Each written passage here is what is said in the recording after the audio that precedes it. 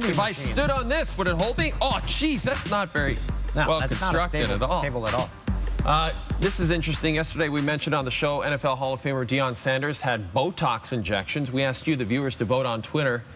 At what age should Dan get Botox? And overwhelmingly, you said Dan needs to take care of those lines and wrinkles right now. 73% of you said, Dan, you've got to get Botox. Will you be heading to your local Botox clinic in Orono this Saturday? One glaring omission from uh, that, that uh, board was the option to say no Botox. I, I understand you heard from some people who said you don't need any? Yeah, my mom. Ah, Sandra.